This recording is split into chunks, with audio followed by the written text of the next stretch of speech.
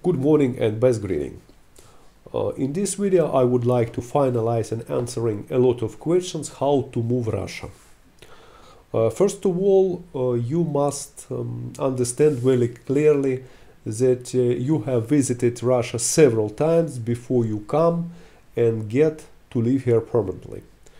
Because uh, you must be ready to answer for yourself for several very important questions. First is uh, where do you plan to live?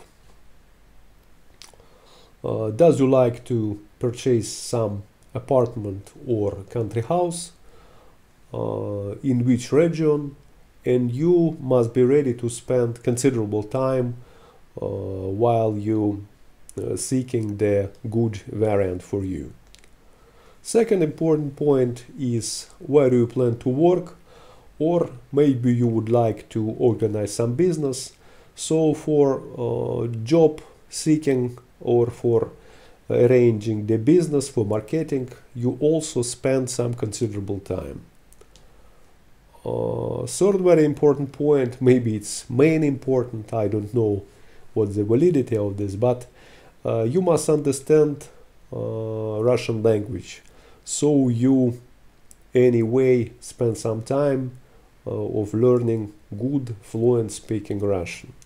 Of course you can start to speak Russian in your country or you can come uh, to some Russian courses or you can run some pre-university or university Russian training uh, while you stay in Russia. Anyway, uh, all these important questions and issues uh, even if you find a very good job giver company in Russia, it is most likely that you spend some time here before that.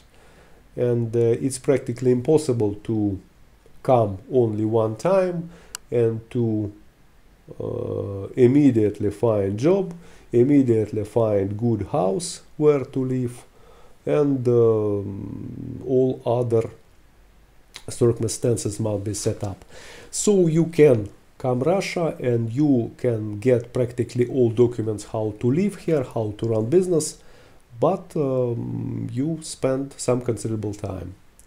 And uh, if you like to uh, get some help, you can contact our Moscow company and we can help you practically with all these steps.